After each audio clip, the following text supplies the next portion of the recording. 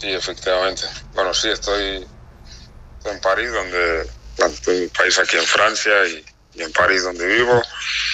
El Le es un, sí que es un equipo importante a nivel de formación de, jugadores.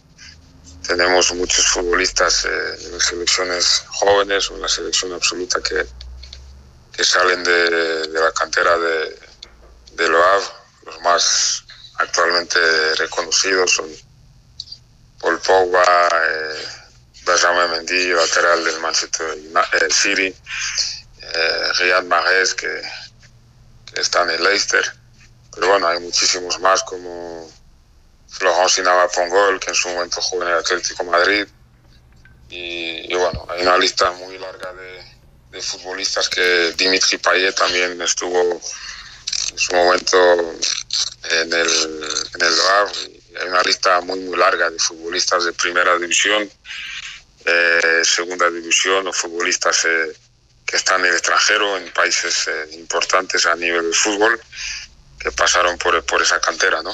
¿Cómo fue la, la negociación? Recuerdo, y no sé si estoy del todo claro, que por ser un futbolista menor de 18 años, todavía no se puede iniciar como una prueba, ¿verdad, don Joaquín? Sí, no, esto no es una... Julen no va, no va a realizar ninguna prueba, simplemente es una experiencia que le, que le quiero, quiero dar a, a, a Julen por el tema por el tema de,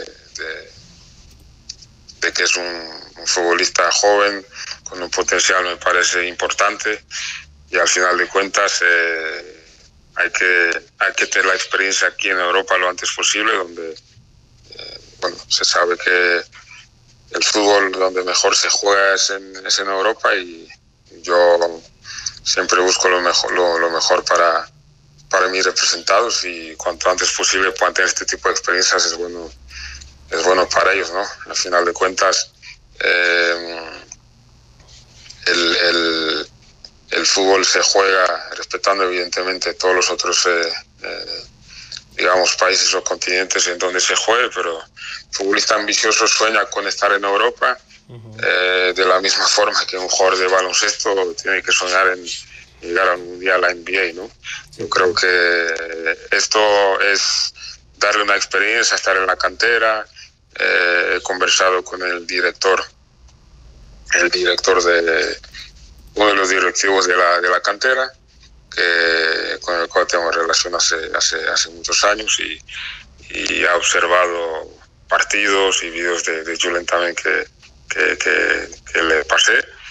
Eh, le llamó la atención para, para que estuviera aquí varias semanas, pero no es la primera vez que un equipo de Europa tiene interés en, en que Julen venga a entrenar para conocerlo mejor, tener mejor eh, eh, digamos, conocimiento de su perfil. Eh, desde que tiene 15 años eh, han habido posibilidades en otros países de Europa, pero por calendarios entre selección sobre todo y, el club ha sido, ha sido imposible que viajara, ¿no? pero bueno, de hecho el año pasado Pablo Rodríguez Santamaría de, de Liga Deportiva Alajuelense estuvo en el Grenoble es un club aquí francés. Julen lo iba a acompañar, pero por tema de selección no pudo. Pero bien, han habido un par de otras posibilidades aquí en Europa, porque Julen es un joven que ha llamado la atención por sus características, por también ahora debutar joven y pero bueno, es un joven que todavía no ha hecho nada en el fútbol, simplemente está trabajando eh, espero que, espero que esta experiencia de un mes, él va a estar aquí en Francia un mes, espero que la pueda, la pueda aprovechar y le sirva para, para su futuro, ¿no? Claro. ¿Qué otros equipos de otros países eh, se fijaron en, en Julen? reconocemos a Julen por, por supuesto por lo que mostró en, en anterior en el Mundial, con, por, por supuesto el Mundial eh, infantil y donde se vio de muy buena manera. Este jugador definitivamente fue el que más, uno de los que más llamó la atención. Pero, ¿qué otros equipos se mostraron interés por él, don, don Joaquín? Sí, bueno, me gusta guardar cierta, cierta discreción con, eh, con el tema, pero también porque trato de proteger a, siempre a los futbolistas, ¿no? Porque al final son, son jóvenes. Julen tiene 16 años, al final es un adolescente.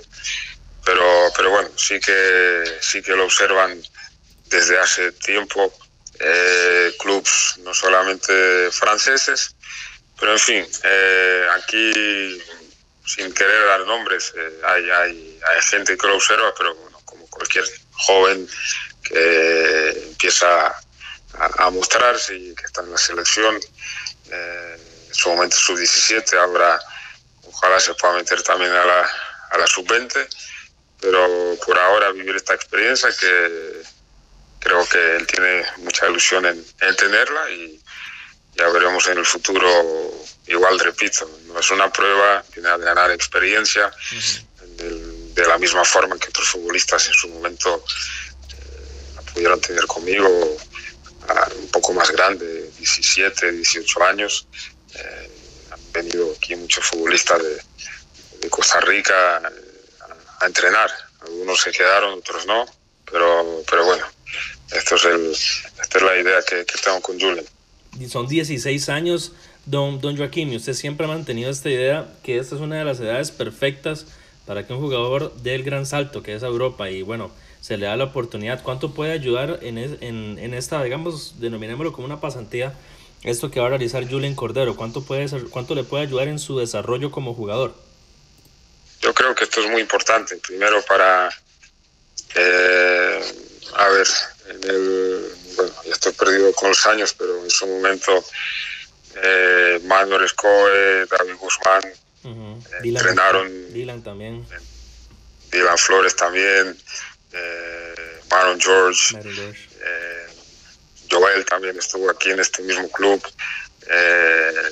Este, al final son experiencias que tú estás entrenando con compañeros de tu edad y te permite ver que pues con trabajo todo se llega, ¿no? En su momento Jordan eh, fue compañero de Benjamin Mendy, está en Manchester City, eh, Riyad Mahrez que está en el Leicester, eh, David, eh, David Guzmán y, Manuel Cohen en su momento cuando realizaron su, su prueba, que hicieron una prueba, pues en el equipo final del Lago estaba, estaba Paul Pogba, entre otros futbolistas, ¿eh?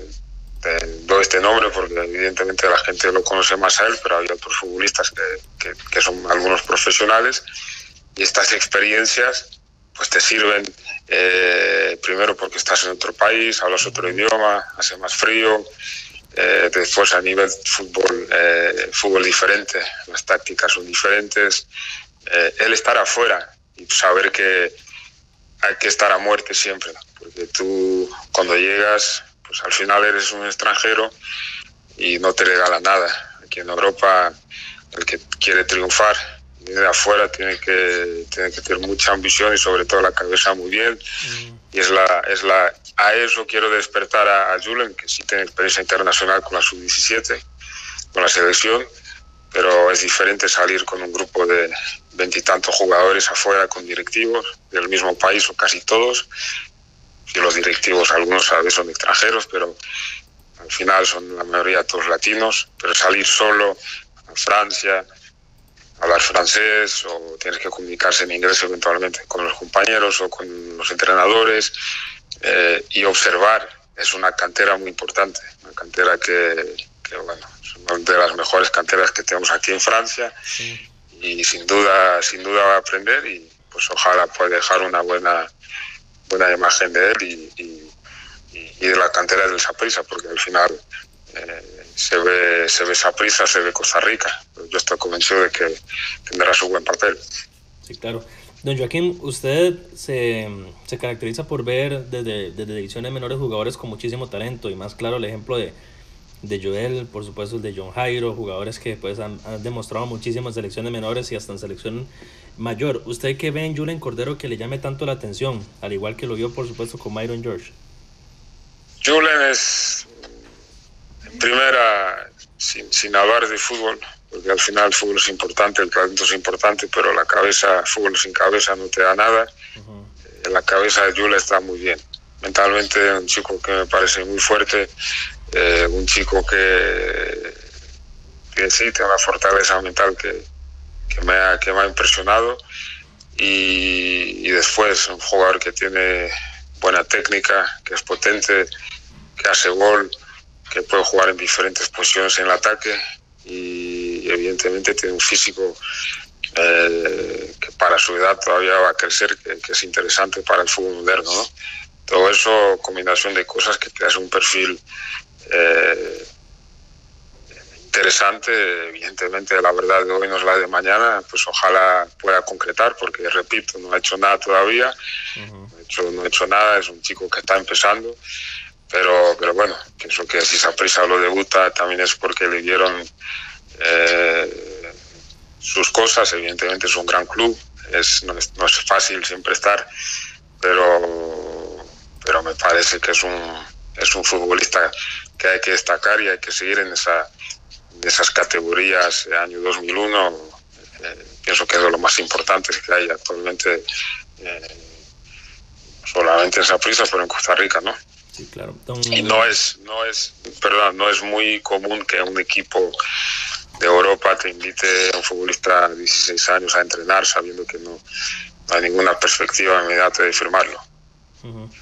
Don Joaquín, aprovechándolo también, me gustaría comentarle sobre la actual eh, situación de Joel Campbell ahorita, que bueno, ya está, ya el equipo ha informado que está en plenitud de condiciones y podría entrar en, en disputa ya pues de forma pues habitual como lo venía realizando con el equipo de, de, del Real Betis. Le ha costado un poco, ¿verdad? Este regreso a este equipo inició de gran manera, pero esa lesión quizá lo, lo dejó un poco al margen.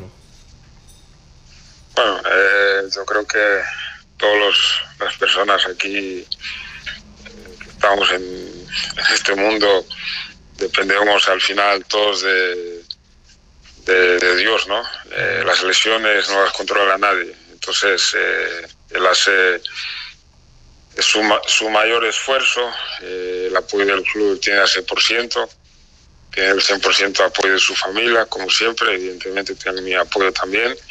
Y bueno, eh, a veces existen unos contratiempos, pero ojalá cuando, cuando ya pueda jugar y que el club decida así, eh, lo pueda hacer de, de, de, buena forma. Este año cuando ha estado en campo ha estado, ha estado bien, cuando entró con el Valencia creo que fue de los mejores en campo, si no el mejor en los minutos que él estuvo, después uh -huh. eh, ha tenido dos más participaciones y, y tuvo una pues tuvo tuvo una, una lesión, una recaída que todos los futbolistas eh, dependen de eso, ¿no? Las lesiones no las controla nadie, solo Dios y esperemos que ella sea al final de, de, de, este episodio. Sí, claro. Don Joaquín, bueno, lo de John Jairo Ruiz, que lo está haciendo de buena manera en Arabia Saudita, es titular, y quizá el gol no le ha llegado tan, tan regularmente, pero prácticamente pues esto fue mucho por la parte económica, ¿no? Le ha ido bastante bien allá. Bueno, de, yo no suelo hablar mucho de, de temas eh, económicos y tal, prefiero guardarlo eh, privado por el tema de que cada, cada jugador firma sus contratos y yo soy como de cierta forma como un doctor, ¿no?